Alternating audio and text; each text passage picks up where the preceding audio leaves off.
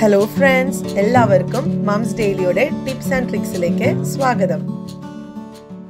ിരിക്കുന്നത് ഒരു കൊച്ചു ഒരു ടിപ്പ് പറയാൻ വേണ്ടിയിട്ടാണ്. ഒരു ഗാർഡൻ ടിപ്പ് എന്ന് വേണമെങ്കിൽ പറയാം. നമ്മളെല്ലാവരും കളയുന്ന ഒരു സംഭവമാണ് പഴത്തിന്റെ തൊലി എന്നുള്ളത്. എന്നാൽ ഈ പഴത്തിന്റെ തൊലി ഈ ഒരു വീഡിയോ കണ്ടതിന് ശേഷം നിങ്ങൾക്ക് കളയാനേ തോന്നില്ല. ഒത്തിരി ഒത്തിരി നമ്മുടെ ഗാർഡനിൽ നമ്മൾ നമ്മുടെ പൂക്കളൊക്കെ ഉണ്ടാവാനായിട്ട് ഒത്തിരി സഹായിക്കുന്ന ഒന്നാണ് ഈ ഒരു പഴത്തിന്റെ തൊലി എന്ന് പറയുന്നത്. അപ്പോൾ നമുക്കത് ഒരു കാര്യം മാത്രം ഇതിനു വേണ്ടി ചെയ്താൽ മതി. നമുക്ക് നല്ലൊരു വളം ഉണ്ടാക്കിയെടുക്കാൻ പറ്റും. നമ്മുടെ മുറ്റത്ത് നമ്മുടെ ഗാർഡനിൽ നിറച്ച് പൂക്കൾ ഉണ്ടാക്കിയെടുക്കാൻ പറ്റും. അപ്പോൾ അതെങ്ങനെയാണെന്ന് നോക്കാം. അപ്പോൾ അതാ ഞാനിവിടെ ഇന്ന് ഞാൻ പഴംപൊരിയൊക്കെ ഉണ്ടാക്കിയിട്ടുണ്ടായിരുന്നു. അപ്പോൾ അതിന്റെ വീഡിയോ ഒക്കെ അപ്ലോഡ് ചെയ്തിട്ടുണ്ടായിരുന്നു കേട്ടോ. അപ്പോൾ ആ പഴം ആ പഴത്തിന് അതിനുവേണ്ടി ഉപയോഗിച്ച പഴത്തിന്റെ കുറച്ച് പഴത്തൊലികളാണ് ഉള്ളത്. അപ്പോൾ കുറച്ച് റോബസ്റ്റ പഴത്തിന്റെ ഒരു ഒരു പഴത്തിന്റെ തൊലിയുണ്ട്. പിന്നെ രണ്ട് മൂന്ന് നേന്ത്രപ്പഴത്തിന്റെ തൊലിയുണ്ട്.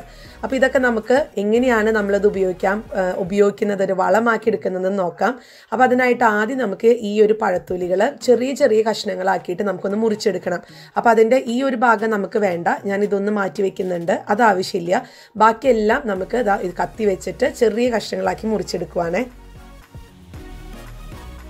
അപ്പോൾ ഇതാ ഞാൻ പഴത്തൊലി ഇതാ ഇതുപോലെ ചെറിയ കഷ്ണങ്ങളാക്കി മുറിച്ചിട്ടുണ്ട്.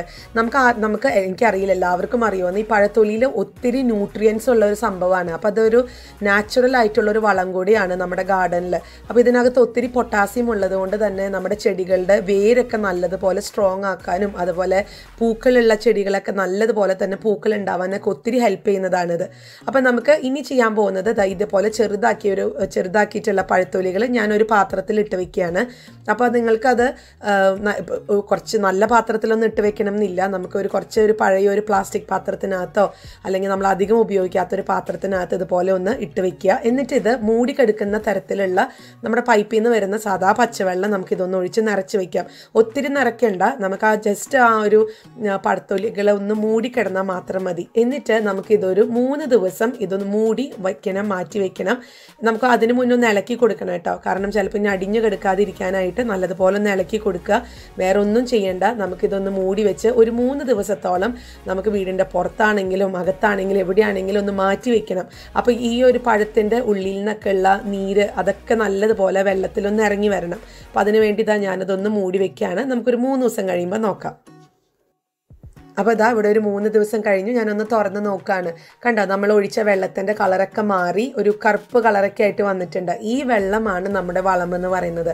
പക്ഷേ ഈ വെള്ളം മാത്രമല്ല നമുക്ക് ഇതിന്റെ തൊലികളും യൂസ് ചെയ്യാൻ പറ്റും. അപ്പോൾ അതെങ്ങനെയാണെന്ന് കാണിക്കാം. അപ്പോൾ ഇനി നമുക്കിത് ചെടികൾക്ക് ഒഴിക്കാൻ വേണ്ടിയിട്ട് നമുക്കൊരു പാത്രത്തിനകത്തോട്ട് ഞാനിപ്പോൾ ഇവിടെ ഒരു പഴയൊരു പ്ലാസ്റ്റിക് കപ്പിനകത്തോട്ട് ഇതൊന്ന് അരിച്ചൊഴിക്കുകയാണ് ചെയ്യുന്നത്. നമുക്കിതിന്റെ ആ വെള്ളം ആ നീരൊന്ന് എടുക്കാൻ വേണ്ടിയിട്ടാണ്. അപ്പോൾ അതാ ഞാനൊന്ന് അരിച്ചെടുത്തിട്ടുണ്ട്. ഞാൻ നേരത്തെ പറഞ്ഞ പോലെ ഇതിന്റെ ആ ഒരു പഴത്തൊലികൾ നമ്മൾ കളയുന്നില്ല ഈ പഴത്തൊലികളും കൊണ്ട് നമുക്ക് വേറൊരു ഉപയോഗം കൂടി ഉണ്ട് കേട്ടോ. അപ്പോൾ നിങ്ങൾക്കിപ്പോൾ അത് ഒത്തിരി എല്ലാ ദിവസവും ഇതുപോലെ ചെയ്യണമെന്നൊന്നുമില്ല. നമ്മൾ എല്ലാ ദിവസവും പഴം യൂസ് ചെയ്യണമെന്നില്ലല്ലോ അപ്പോൾ നിങ്ങൾ ഉപയോഗിക്കുന്ന ആ പഴങ്ങൾ അന്ന് തന്നെ ഒരു വെള്ളത്തിൽ കുറച്ച് വെള്ളത്തിലങ്ങ് ഇട്ട് വെച്ചിട്ട് പിന്നീട് ഇപ്പോൾ പിറ്റേ ദിവസമാണ് ആ പഴം എടുക്കുന്നത്. വേറൊരു പഴം എടുക്കുന്നതെങ്കിൽ അതിന്റെ തൊലിയാണെങ്കിലും ഇതിന്റെ കൂടെ ആഡ് ചെയ്തിട്ട് രണ്ടോ മൂന്നോ ദിവസത്തിനകം യൂസ് ചെയ്യണമെന്ന് മാത്രമേ ഉള്ളൂ. അപ്പോൾ ഇനി ഇതാ ഞാൻ ഇനി ഈ ഒരു വെള്ളം നമ്മുടെ ചെടികൾക്കൊന്ന് ഒഴിച്ചു കൊടുക്കാൻ പോവാണ്. ഒപ്പം ഞാൻ ഈ പഴത്തൊലികളും എടുക്കുന്നുണ്ട്. നമുക്ക് ഗാർഡനിൽ അതെങ്ങനെ ഇടാമെന്നൊന്ന് നോക്കാം. അപ്പോൾ അതാ ഞാൻ ഒരു കപ്പിൽ വെള്ളവും അതുപോലെ തന്നെ മറ്റേ കപ്പ് വേറൊരു പാത്രത്തിനകത്ത് പഴത്തൊലികൾ കുതിർത്തി വെച്ചിട്ടുള്ള പഴത്തൊലികൾ എടുത്തിട്ടുണ്ട്. നമുക്കിത് പ്രത്യേകിച്ച് പൂച്ചെടികൾക്കാണ് കൂടുതലും നന്നായിട്ട് വരിക.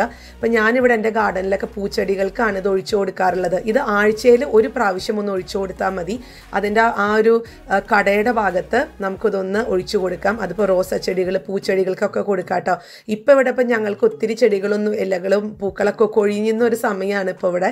അതുകൊണ്ട് ഒത്തിരി നിങ്ങൾക്ക് പറ്റുന്നില്ല. പക്ഷേ ഞാനിവിടെ ആ ഒരു പൂക്കളൊക്കെ ഉണ്ടായി വരുന്ന സമയത്ത് ഇട്ട് കൊടുക്കുന്നത് ഇതാണ്. പിന്നെ ഇതാ പഴത്തൊലികൾ ഇതേപോലെ നമുക്ക് നല്ല അതിന് പൂച്ചെടികൾ വേണ്ട. അല്ലാത്ത ഇലച്ചെടികൾക്കോ അല്ലെങ്കിൽ മറ്റുള്ള ചെടികൾക്കൊക്കെ നമുക്ക് അതിന്റെ കടയ്ക്ക് ഈ ഒരു പഴത്തിന്റെ തൊലിയും കൂടെ നല്ലതുപോലെ ഒന്ന് ഇട്ട് കൊടുക്കാൻ പറ്റും. അപ്പോൾ അത് ആ പതുക്കെ ഒന്ന് റിലീസാവും. അതിനകത്തുള്ള potassium potassium mag magnesium iron ഇതൊക്കെ പതുക്കെ അങ്ങ് റിലീസ് ആയിക്കോളും അപ്പോൾ ഇത്രയേ ഉള്ളൂ. ഇത് വളരെ സിമ്പിളാണ്.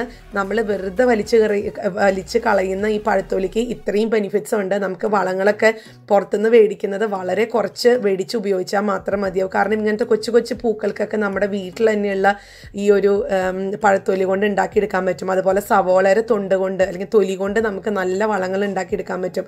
അപ്പോൾ അതിന്റെയൊക്കെ വീഡിയോ ഞാൻ ഇട്ടിട്ടുണ്ട്. നിങ്ങൾക്ക് നമുക്ക് നമ്മൾ വെറുതെ വേസ്റ്റാക്കി കളയുന്ന കാര്യങ്ങളൊക്കെ കൊണ്ടാണ് നമ്മുടെ ഗാർഡനിൽ നിറച്ച് പൂക്കൾ പൂക്കൾ ഉണ്ടാക്കിയെടുക്കാൻ പറ്റും. അപ്പോൾ എല്ലാവരും ഒന്ന് ട്രൈ ചെയ്ത് നോക്കുക. നിങ്ങൾക്ക് ഇഷ്ടപ്പെടുവാണെന്നുണ്ടെങ്കിൽ ലൈക്ക് ചെയ്യാനും കമന്റ് ചെയ്യാനൊന്നും മറക്കരുത്. ഒപ്പം നമ്മുടെ ഈ ചാനൽ നിങ്ങൾ ആദ്യമായിട്ടാണ് കാണുന്നതെങ്കിൽ സബ്സ്ക്രൈബ് ചെയ്യാനും മറക്കരുത് കേട്ടോ അപ്പോൾ നമുക്കിനി അടുത്തൊരു വീഡിയോ ആയിട്ട് ഉടനെ കാണാം. അന്റിൽ ദെൻ ബൈ